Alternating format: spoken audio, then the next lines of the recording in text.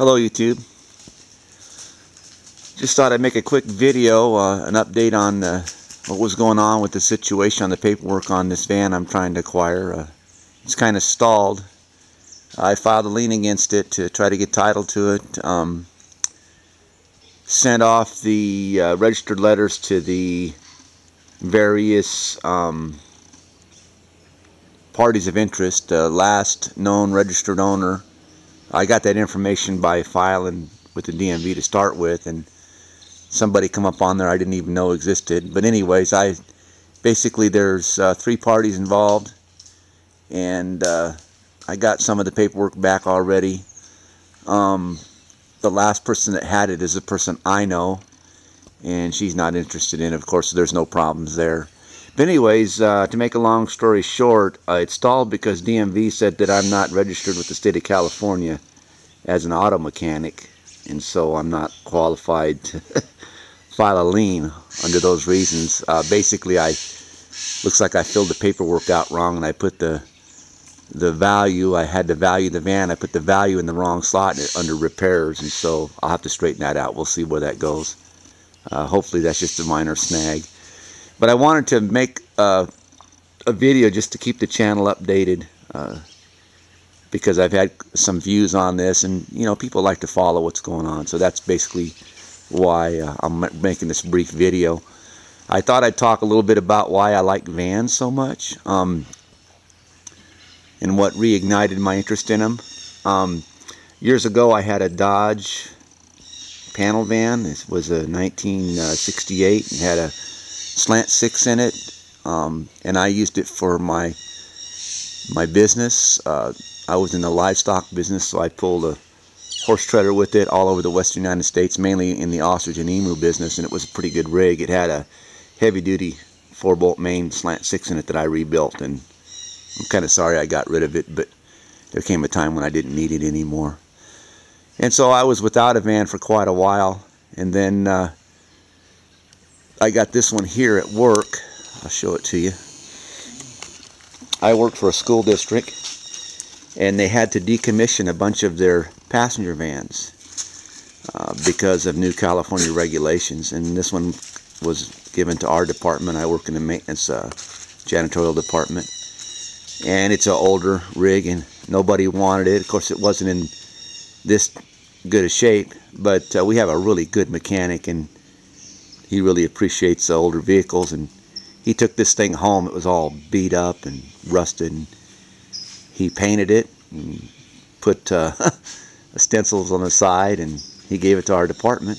And uh, I wound up with it. And so uh, I have it kind of set up uh, with my tools in it. I have in the back I have it set up with my tools for maintenance for HVAC things like that.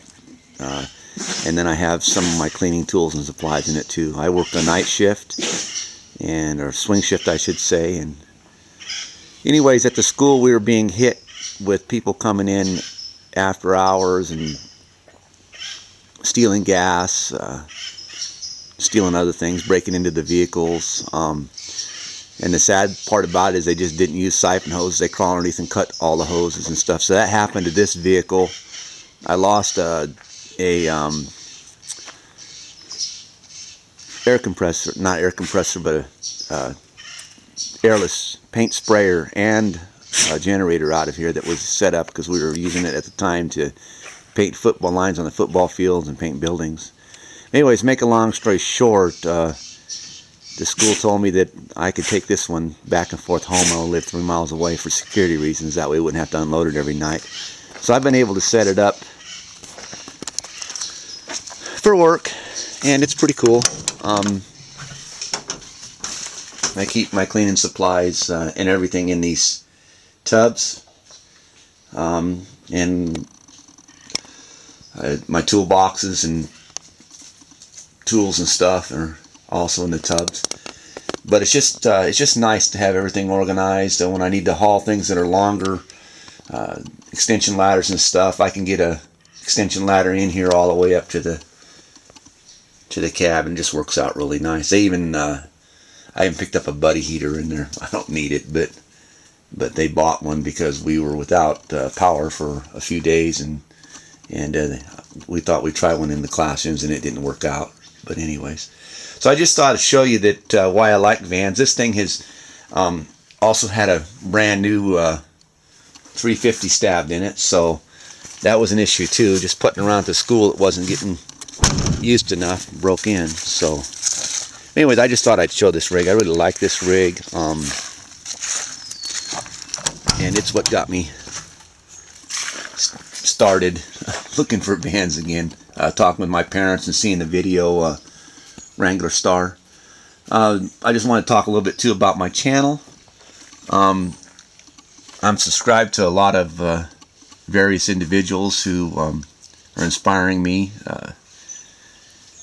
And I post, uh, I like some of their videos. I don't like, I mean, I like all their videos, but I actually like them on the channel so you can see some of them that I think are pretty impressive.